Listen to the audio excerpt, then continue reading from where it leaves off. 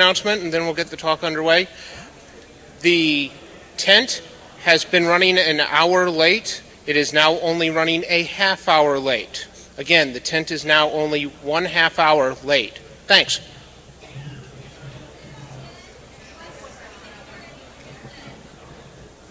The tent is running a half an hour late. They were an hour behind, but they have picked it up to a half an hour. So, there you go. All right, I'm supposed to get going because we're a little pressed for time. So, good afternoon to all of you. Um, my name is Thomas Holt, and I'm from the University of North Carolina, Charlotte. I'm a criminologist by trade, and my research focuses primarily on computer crime, just generally, and computer hacking specifically.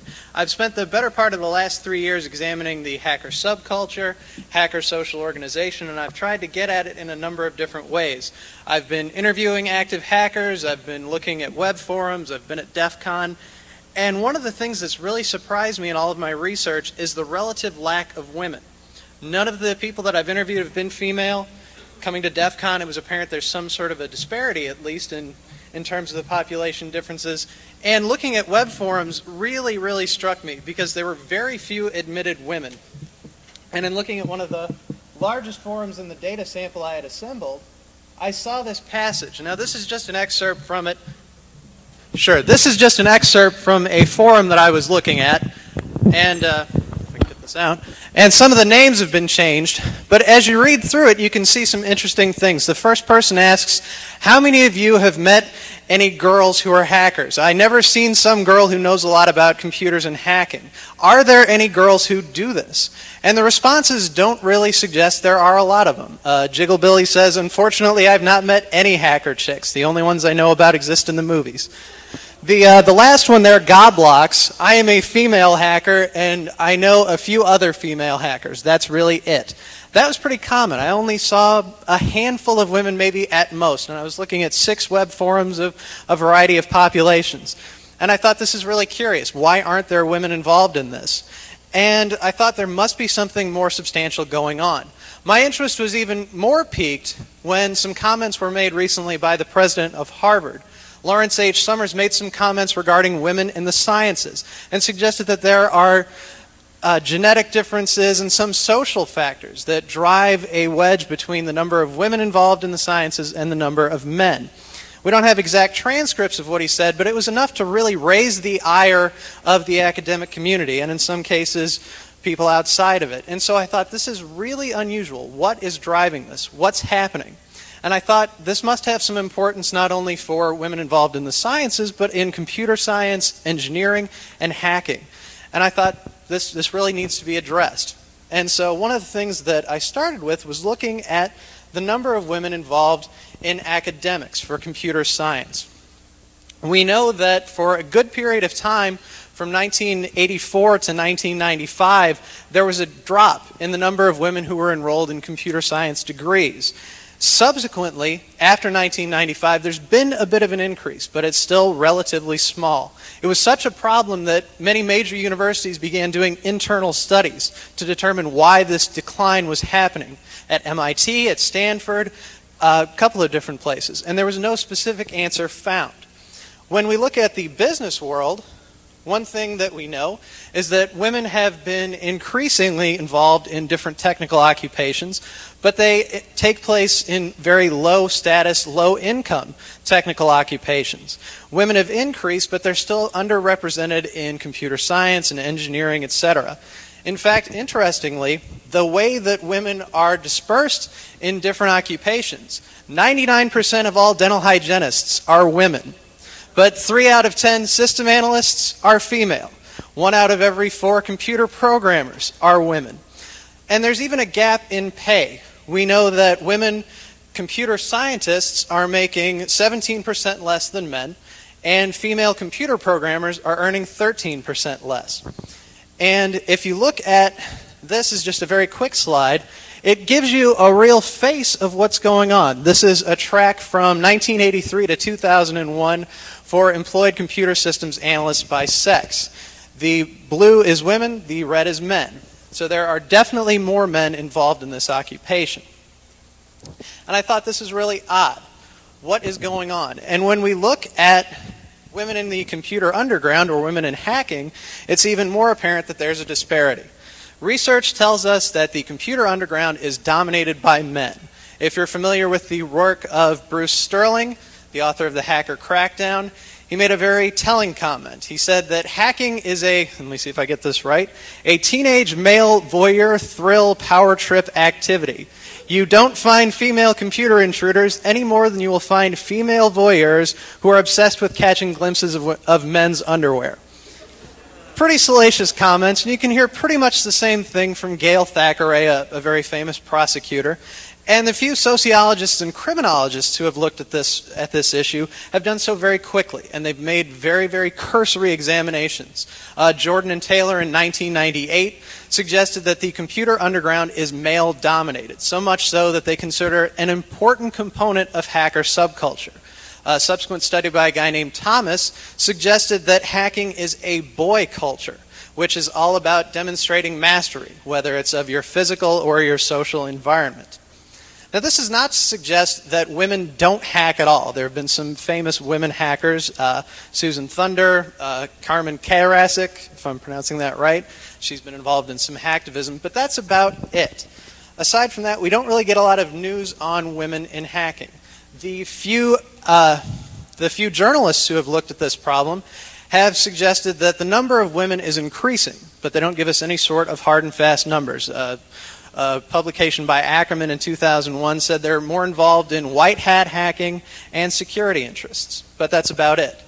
The few women who actually discuss issues of gender and hacking have suggested that there's quite a bit of harassment and difficulty that women face. A researcher by the name of Gilboa in 1996 described a great deal of difficulty that she faced. Uh, Sagan suggested that entry level female hackers experience a great deal of harassment. And a study from Ipsos Reid suggested that the population of 18 to 24 year old women experienced the most heavy experiences of being hit on or harassed while online.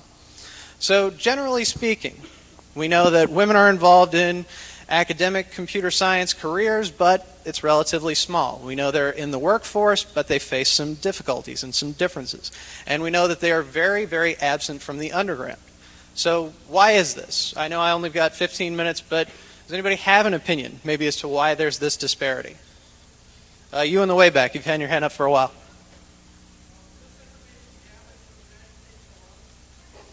Yes, this is primarily based on the U.S. Yes, you, sir.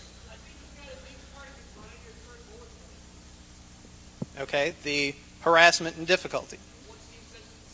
Okay, good. Anyone else? Yes. Men are threatened? Okay. Well, yes, ma'am. Okay. These are very interesting questions, yes.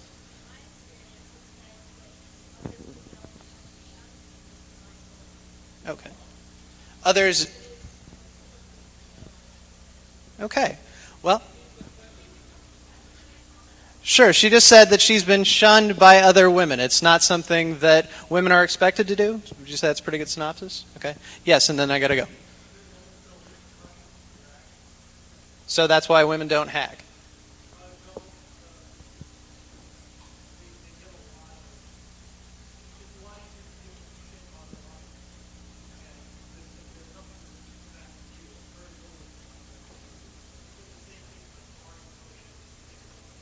Okay, so it's easier to harass women online. Maybe that's part of why women stay out of it.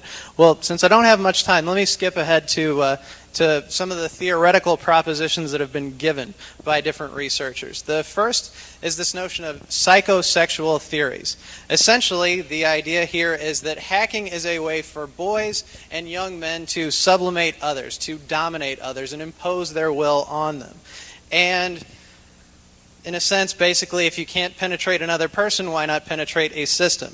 I know that sounds really harsh, but an attorney for a hacker named Ehud Tenenbaum, if you're familiar with that guy, suggested that in the past we used to boast about the girls we have. Nowadays, kids boast about their ability to hack into different systems.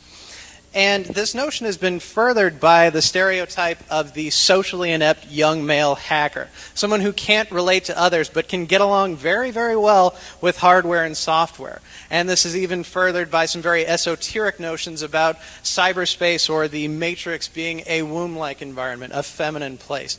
But it, it gets a little abstract from there, and it's, it's a little difficult to explain. So let me just move on to the next one gender role socialization. This is something that some of you have already talked about. It's basically the idea that there are shaping relationships between technology and gender. Technology has a way of affecting the way that we relate to one another.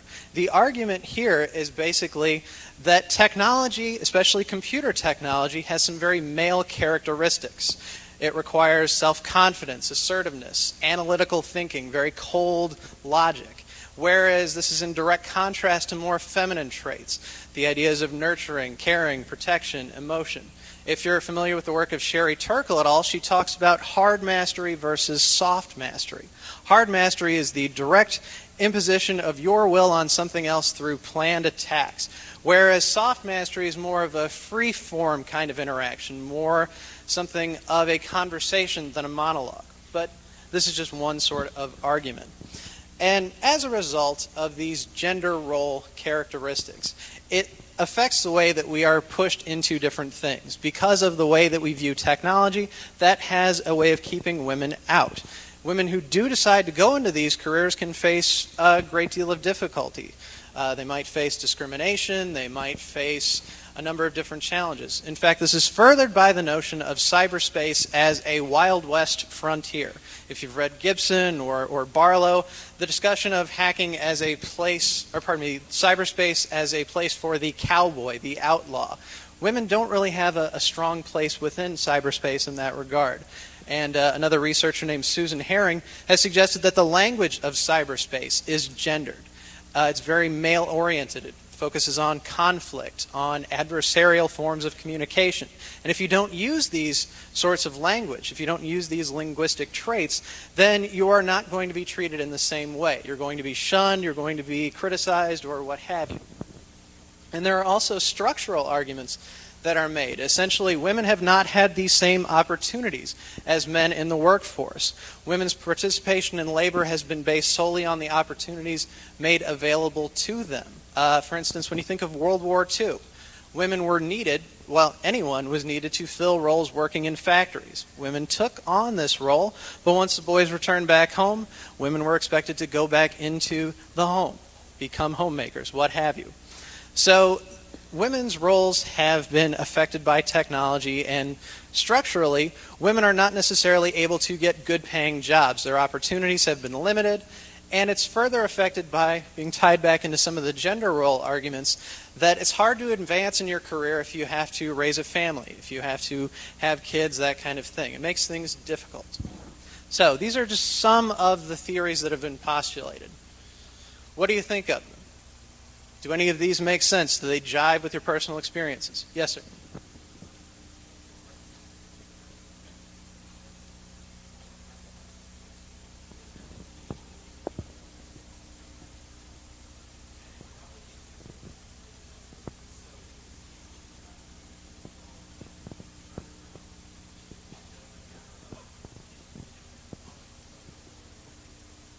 Okay. So, because of the ubiquity of technology, these structural arguments don't really make much sense anymore. Okay? Yes, sir.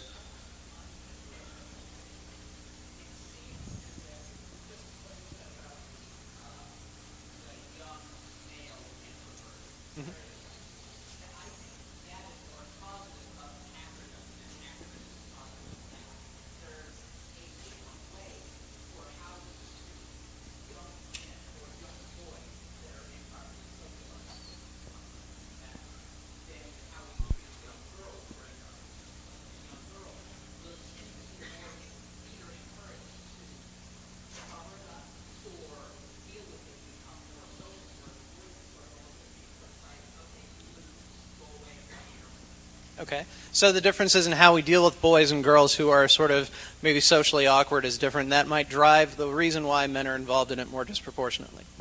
Does that sum it up pretty well? Okay. You, ma'am?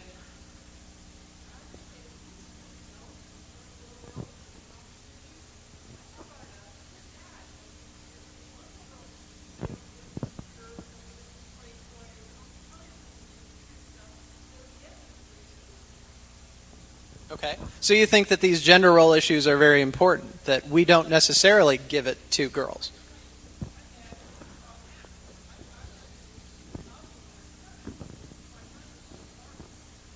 Okay. So then you've had some very, very personal experiences with it. Okay. Uh, you, sir, over there with glasses.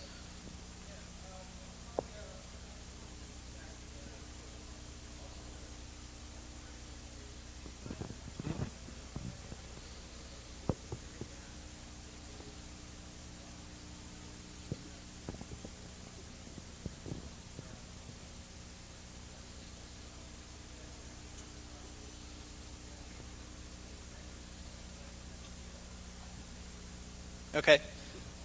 So the way that computer science programs are set up are also sort of structured because we don't push women into math and that sort of thing at an early age. Maybe that's going to keep them from getting involved in the academic portion of it. You, ma'am, in the black shirt.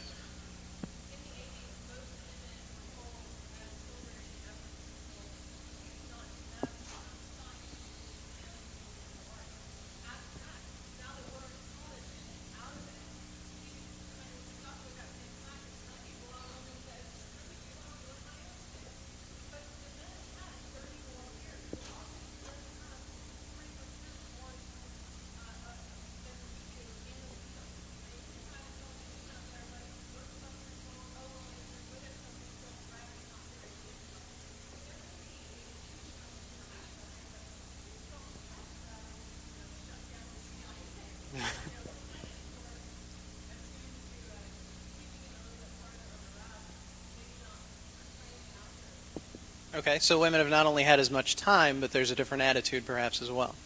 Okay, you start and then I've got to end.